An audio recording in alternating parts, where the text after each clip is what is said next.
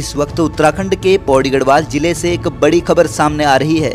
जहाँ पौड़ी से दिल्ली जा रही रोडवेज़ बस पुलिया की रेलिंग से टकराकर नीचे को लटक गई। मौके पर बस में सवार सभी यात्रियों में चीख पुकार मच गई। अभी तक मिली जानकारी के अनुसार पौड़ी से दिल्ली जा रही कोटद्वार डिपो की रोडवेज़ बस हादसे का शिकार हो गई। बस दुगड्डा से कोटद्वार की ओर निकली ही थी कि आमसौड़ के पास अनियंत्रित होकर पुलिया की रेलिंग से टकरा गई। गनीमत रही कि बस पलटकर नीचे नहीं गिरी, नहीं तो कोई बड़ी अनहोनी हो सकती थी। बस में सवार सभी यात्री सुरक्षित हैं, बताया जा रहा है कि सामने से आ रहे वाहन को बचाने के चक्कर में चालक बस पर नियंत्रण खो बैठा और बस मलबे पर फिसलकर सीधे नीचे रेलिंग पर जा टकराई।